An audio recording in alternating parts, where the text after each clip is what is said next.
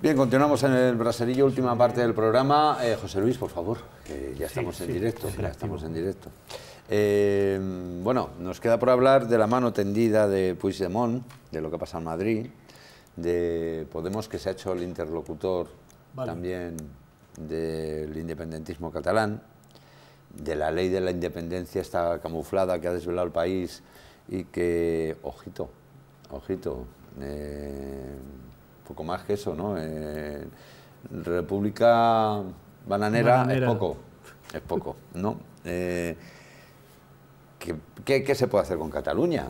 O, bueno, perdón, con algunos pues, catalanes. Pues con algunos catalanes es, españoles ellos. Es hablarles bien clarito y que cumplan la Constitución española y que se dejen de historias.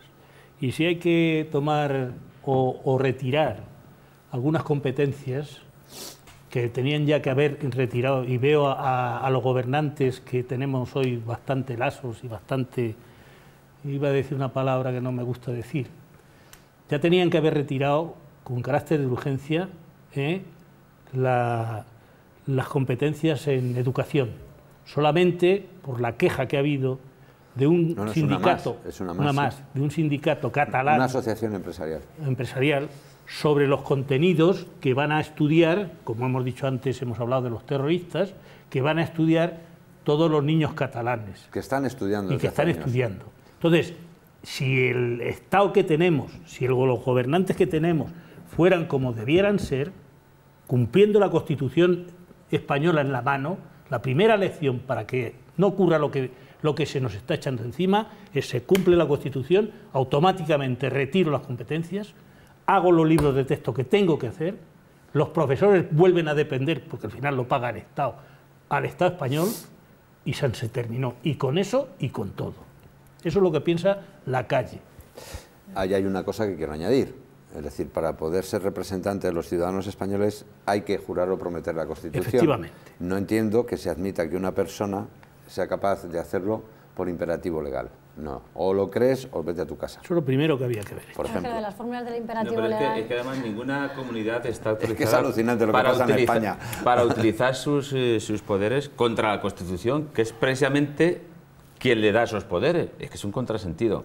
Pero, en todo caso, primero está el hecho, el hecho en sí que se, ha producido en, Madrid, ¿no? que allí se ha oficializado de alguna forma eh, pues, eh, que la ruptura que pretende el independentismo, además, el Ayuntamiento de Madrid le pone la alfombra para que este señor vaya allí a ir contra el Estado de Derecho. Es que mm, esta fórmula ya del independentismo y el extremismo eh, suena aquello del pacto del Tinel que hubo en, Cataluña ya hace, hace años y al final es un chantaje porque es el referéndum independentista sí o sí. O sea, independientemente... Vamos a negociar el color de con, las urnas. Con o sin acuerdo, de, o sin acuerdo del Estado. Entonces eso, no puede ser.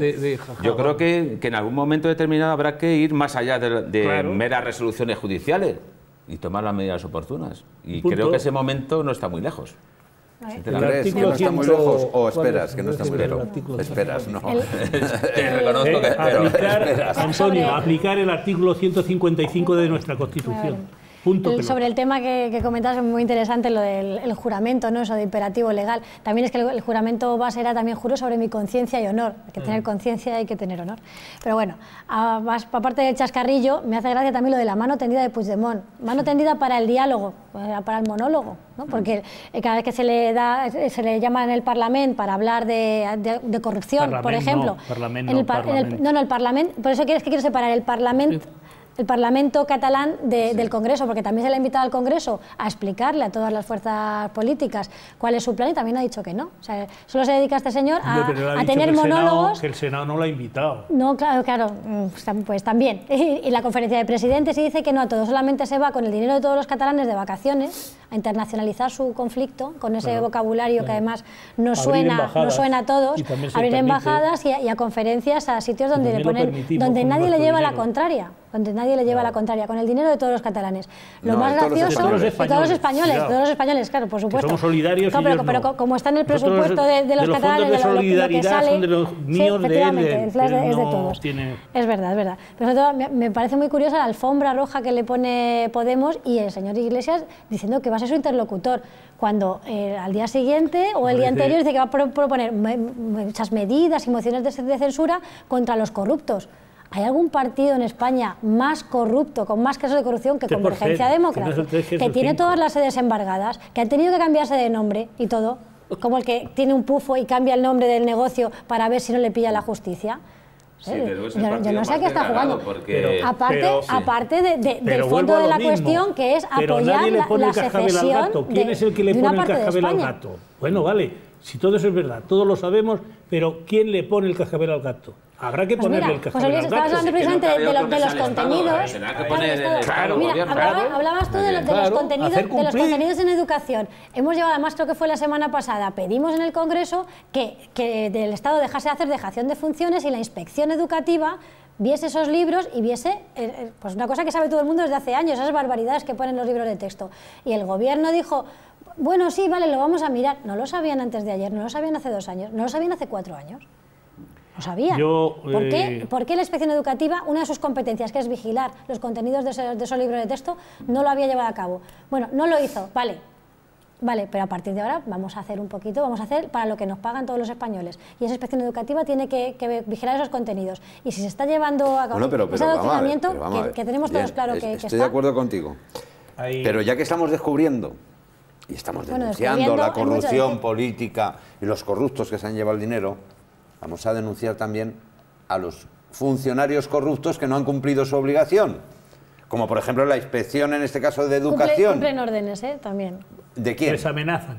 Les Hay, amenazan. pero Pues que encima lo denuncien, hay pues que lo hay toda- denuncien. hay toda una el jerarquía. cantante, el cantante O sea, que tampoco- célebre, tampoco le vamos a echar la ¿eh? culpa ahora a los funcionarios El cantante Luis Chávez o como sea, que está eh, Ay, que no, sí, aquí la culpa es de que todos. Se- cuando se él le culpa es de líneas- todos. se le dan líneas de actuación y sobre ellas tienen que todo- actuar. o sea, Ya, pero no puede ser. Es decir, pues mire usted, eh, no ha cumplido Pues su espero que función. ahora el gobierno les- les como dé la- la como orden de que inspector se- de, trabajo, ese pues, pues mire usted, le tenemos que cambiar de trabajo. Yo no creo- digo que lo echen. Yo creo que, pero- que la cuestión es, es compleja, la cuestión no es sencilla, ¿de acuerdo, por porque, hay que porque estamos hablando... porque es ni mucho- se es se el problema que tiene. España, que todo es muy complejo, y se está todo muy complicado. No no tenemos más complejos Bueno, que el pues tío Bundio es muy y sencillo. no hacemos nada. Entonces va a ser tan sencillo como sacar los tanques a la calle, que es Que lo que no, escucho yo, que ¿no? no, claro que no. que no, no, no, que no. bueno, pero es que, que se parece cumpla que la Constitución. Sí, efectivamente. Ah, sí. Y se está cumpliendo la Constitución. Hay dos personas del gobierno que en estos momentos se encuentran inhabilitadas por tomar decisiones injustas a sabiendas de que lo eran. En estos momentos, si siguen actuando y dan de nuevo pasos, pues habrá que utilizar el artículo 155, que para eso está. Que para eso está. Pero no se puede actuar contra amenazas. Ya me encantaría actuar contra amenazas. Ya me encantaría que no tuvieran las competencias en materia educativa. Pero no se puede hacer, lamentablemente, y lo sabemos. y lo en la sabemos. Constitución. En estos momentos, Pero es que en estos momentos todavía, hemos visto, es todavía que no se se, amenazó puede hacer. con un referéndum eh, y, se, y se hizo ese referéndum. Claro. Y Ahora ahora ya se, ha sacado, se ha sacado, a- hay una ley, se ha sacado a concurso esas, las, es las urnas, no sé qué más hay que hacer, bueno, que será una pantomima porque ahora dicen que no, que no les hace falta el Y referéndum. eso se ha puesto, sí. y eso se ha puesto en fin. conocimiento de la Fiscalía General del Estado. Hombre, nosotros la, y la- se ha puesto en ley de conocimiento de la abogacía que, del que- Estado. que han ¿de aprobado ahora, la, la hemos recurrido nosotros y, y espero que supongo que, sí, que estará Yo- negociándose yo- con el Partido yo, Popular y con el Partido os digo Socialista. que, mira, aquí yo llevo mi bandera de España, eh, la llevo en el corazón, que es lo más importante. Todo el Partido Popular, creo que si hay un partido que ha defendido y defiende y seguirá defendiendo la unidad de España, ese es el Partido Popular. Nadie nos va a dar lecciones en eso, pero también tenemos que ser escrupulosos con el cumplimiento de la legalidad. Escrupulosos con el cumplimiento de la legalidad. Y yo estoy convencido de, De que los si siguen- procedimientos. eh, de los procedimientos. Si no, te van a acusar de lo que tú acusas. Estoy convencido, estoy convencido de que al final, si, si se cumplen esas amenazas, pues eh, se, se- se establecerá el mecanismo para poner en marcha el artículo 155. Mm, En, en menos tiempo que en más tiempo. Eh, habida cuenta Me, me de cómo se están discurriendo los habrá, habrá unas acontecimientos. elecciones mucho antes. Eh, Aquí el problema es que eh, creo Y- que y lo, que lo- que yo no entiendo es por qué los catalanes, los catalanes que siguen defendiendo esto, por qué los catalanes que siguen defendiendo la independencia no se han dado todavía cuenta que la independencia es un negocio de unos cuantos para hacerse ricos. Para hacerse ricos Porque y eso, para tapar sus vergüenzas. eso ha Porque sido la cada vez que- independencia de Cataluña. Arrimadas habla de No, no, corrupción, si la líder de la oposición habla de corrupción en el Parlamento catalán, hacer- eh, no la contestan y dicen que es que además, de hecho, lo sacan hasta de la mesa. No, de no. corrupción no se puede hablar, parece ser. No se puede, mira, no el se puede ni preguntar. dijo- Es un inve- ayer es un dijo invento para que unos cuantos se hagan que En ricos. cuanto se declare la República Catalana, Va a desaparecer hasta no, el cáncer y es que va a indultar a todos los eh, eh, políticos Procesados. que están procesados. Por ejemplo, Hombre, una es, una de las mil mentiras que cuentan porque están procesados por, eh, por Mira, el si Estado español o por los jueces- españoles. La Pero es que- eso no va a pasar, es de que como vista, no va a es un pasar- ejercicio de cinismo, porque yo creo que hay que fijarse mejor en lo que hacen. ¿Pero hasta cuándo? En lo que hacen que en lo que dicen. Es decir, ¿qué, qué hacen? Pues lo, lo que hacen es controlar de manera de aquella manera los medios públicos de Torticera. comunicación, adoctrinami- adoctrinamiento a las aulas, no cumplir las sentencias, hacer también una especie de, de república catalana, una, es decir, Sí, la eso es lo que hacen Claro. realmente. Y yo digo una cosa, eh, vosotros sentís aquí en Castilla-La Mancha como alguien de Castilla y León que tiene falta de libertad. En Cataluña, ¿qué libertad le falta? Ninguno. O sea, No, le- les somos les diferentes, somos diferentes. A a, a los que se sienten españoles, mucha. Es el Estado A más los, que a, los que, a los que no son independentistas, mucha. El mayor Que- pero que es muy grave. Que es muy grave. en nuestra O sea, en Constitución. Cataluña no hay un problema de libertades. Sí, Son para, para, falsas. para el que, ahora para, sí, para el que no se siente independentista, sí. Hay, hay un problema de libertad eh, eh, en cuanto al tema impositivo, porque es la comunidad autónoma donde más impuestos se pagan, que más ha sufrido los recortes Pero por culpa eso- de los independentistas, pero que más autopistas de aplica- peaje hay. Bueno, Pero eso lo aplica el, el el- gobierno catalán, no Sí, el. Estado Sí que- español. Claro, sí claro. hay- sí, sí, sí sí, la comunidad hay- autónoma que más impuestos tiene Pero del- sí que hay una falta de libertad, una falta de libertad porque hay Sí. mucha gente que no puede hablar en los, En los medios colegios. públicos, en los En medios los de comunicación. Hay- Hay, gente que no puede elegir el colegio que quiere ni, ni- ni hablar la lengua que quiere. Hay gente que si pone un, Que no un puede tenderete, poner un rótulo Claro, que no en- puede poner un rótulo en, espa- en español. No, es no puede poner un, un tenderete de información como le pasa a la sociedad civil catalana. Pero es que libertad individuales. No, no, es así, eso Claro. tienen todas. Pero es que eso, eso no hay que, De más. eso no, que no tenemos que demostrarlo. Para llevarse dinero a. Es, que más sangrante todavía es que no pueden ir a la universidad por el precio tan elevado que tienen las matrículas, tres veces más que en España, como dicen ellos. Tres veces más. Luego fíjate la libertad que hay.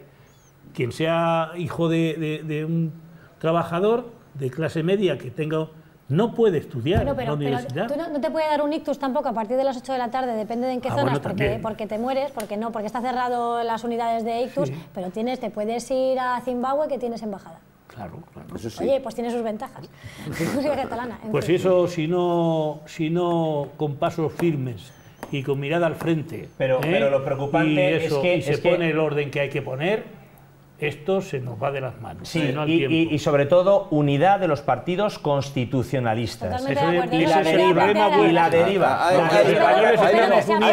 viene- el segundo problema. La deriva. Es que Ahí viene el segundo problema. unidos, Ah, no, no. La deriva. No, Bueno, José Luis, la ahí viene el deriva. segundo va a ser muy debate. interesante. La deriva el del segundo Partido debate. Socialista. El segundo La debate. deriva del Partido Socialista que prefiere pactar con los que van a reírle las gracias a los independentistas catalanes al Ayuntamiento de Madrid y además se presentan como interlocutores en algo que no hay nada que negociar, No, de hecho, peor. hay absolutamente van a nada que negociar. a- van a con la moción Es- de censura para, para apoyar la Esquerra Republicana de. Cataluña el grupo catalán, este que se ha autodenominado Grupo Catalán en el Congreso, pide que en esa moción de censura vaya, se haya una mención explícita al referéndum, no a la diferencia, al Ahí referéndum. viene el segundo debate. Y, y ha dicho, y ha dicho pues, Pablo Iglesias, si no ha cambiado de opinión en estas últimas 24 horas, que eso lo va a consultar a las bases. Claro, ahí, ahí eso- viene el eso- segundo debate. Otra vez Es que el- eso, el es para que todos, ¿Cuántos todos los, países? ah, ¿Cuántos votantes, países? afiliados, simpatizantes del Partido Socialista Eh, se lo hagan mirar. Carlos, porque tienen, ¿cuántos? tienen un, Sí. un líder regional en estos momentos al que han votado, ojo,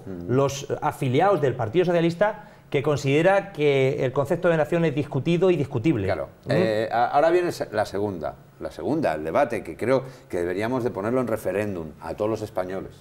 Es decir, ¿creen ustedes que es legal y lícito que exista en España un partido anticonstitucionalista y se pueda presentar a unas elecciones? Pues no. Claro. No. Es decir, ¿creen ustedes no. que podría presentarse a las elecciones Sí, a presidente del gobierno no un permite, señor, Chema, un señor, un señor que quiera matarle, por ejemplo, o quiera destruirle, Ahí, No. o que quiera hay- acabar con su Estado de hay Derecho? una- Hay una disfunción A en... es que en España La permitimos todo. la Todo, hasta Constitución- que, hasta, No, sí, pero, Chema, hasta la que una no lo banda de asesinos se presente a Y unas si, y elecciones. si lo hombre. permite, pues caeríamos en Ya el mismo error que los independentistas eso. que no cumplen las Hasta eso, sentencias. hasta que una O sea, pandilla de asesinos se presenten a las elecciones. aquí, No. Antonio, el error. Y el error- políticamente. El error Y no pasa real nada. Es que estamos siendo buenísimos. Y no hay que ser buenísimos, hay que cumplir las leyes, coño. ah, pues Y hay que cumplir las reglas del juego. Del juego. Las reglas y del dejarnos juego, de historia. que nos hemos impuesto. Y, y- y yo Es sé que es muy incómodo No para un gobierno el, como el poner en práctica el el, gobierno artículo catalán. 155. No, eso no ya lo creo, ser, pero para eso el gobierno, Actuar el Ejecutivo tío. ejecutando las Es que, claro, voy mirando a los votos y no voy No mirando a arreglar las cosas. No, señor. El 155 se cumple. Y me da igual. Y hablar de España, si tú eres español, pues fíjate, yo. Yo Desde hasta. hace más años, claro. De- no, no. y- Desde hace más años, Y, sí. y- No y que comprometí, y que comprometí mi vida por España. Pero No ahí, ¿eh? O sea, no vamos a hablar del tema, de que soy y dejo de ser.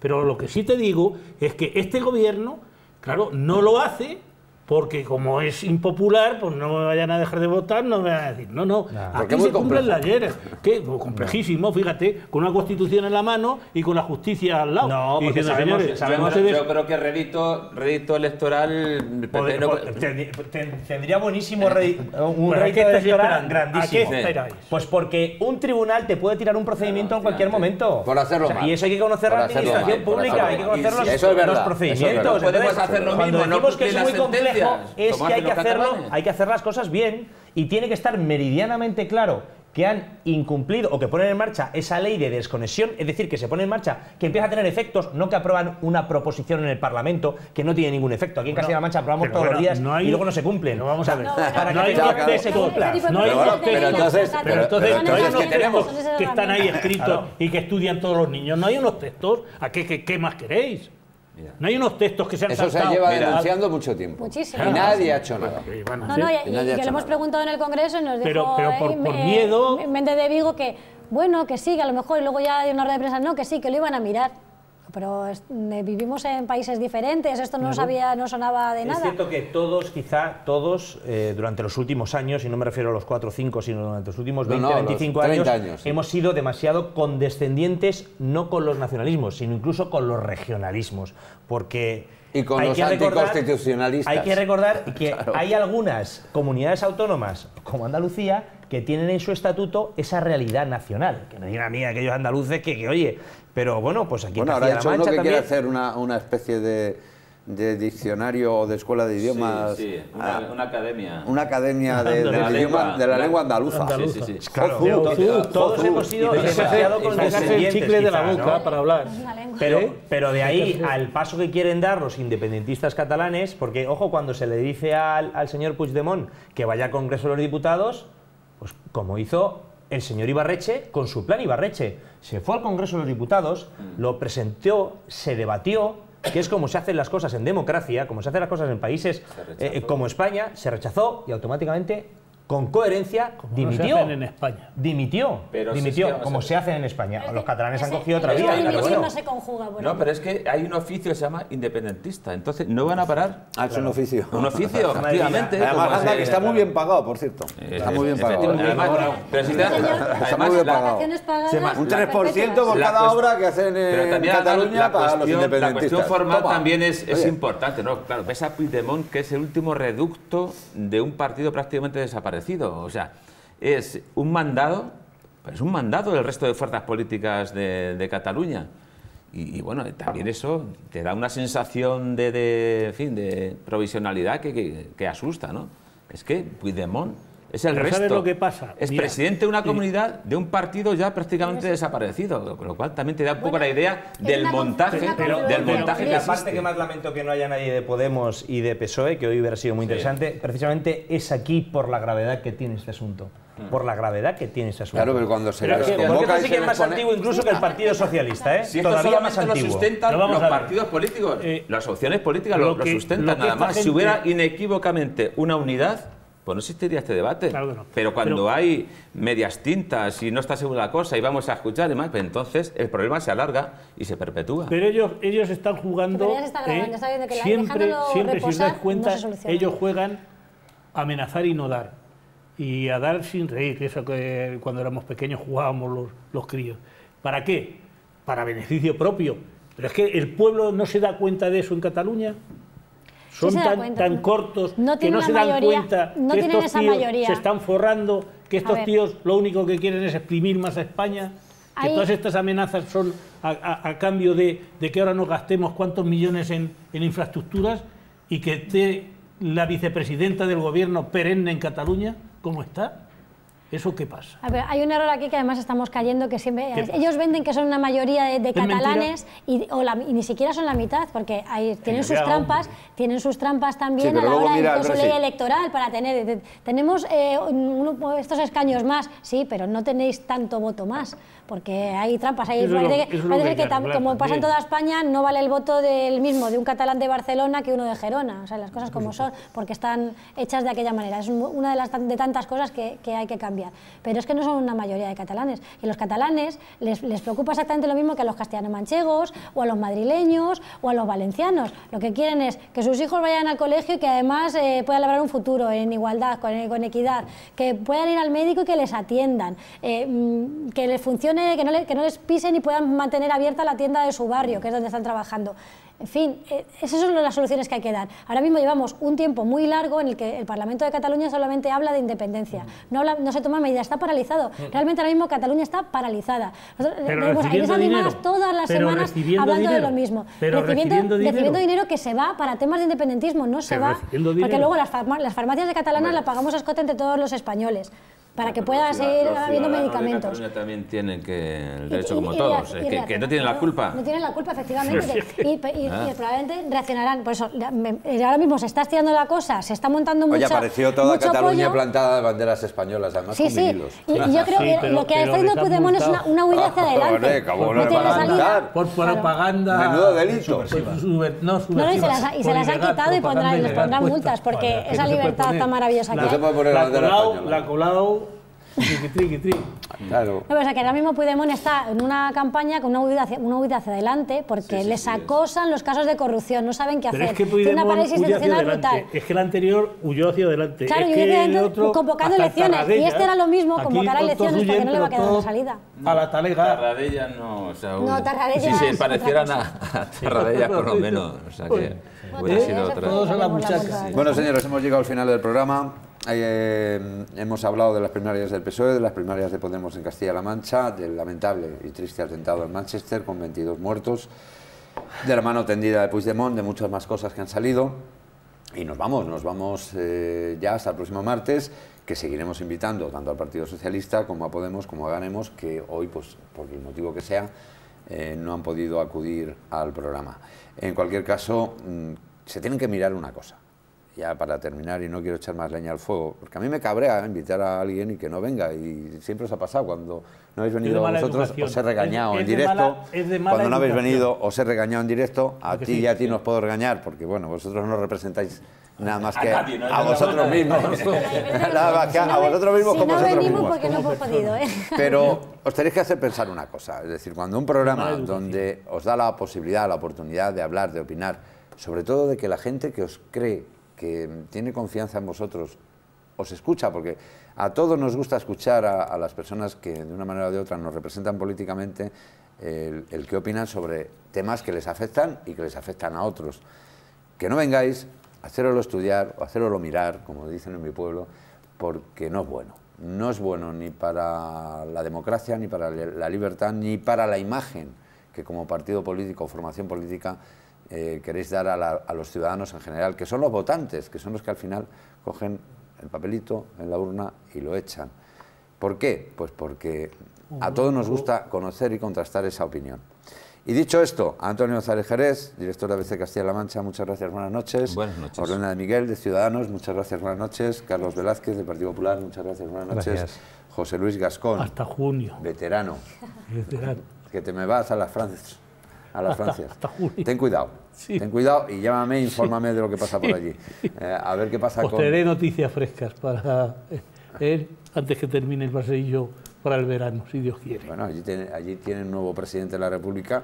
Voy a ver, eh, a ver si hablo Tú con él. infórmame de cómo hace las cosas, Sí. a ver si las hace bien o mal. o- Hombre, tiene una buena consejera. La señora es, es- fue su profesora, fíjate. Fíjate, seguro. cosa, ¿eh? Bueno, muchas gracias, buenas noches. Y a ustedes, como siempre, desearles que sean lo más felices que puedan. Volvemos la semana que viene, si nos dejan. Buenas noches.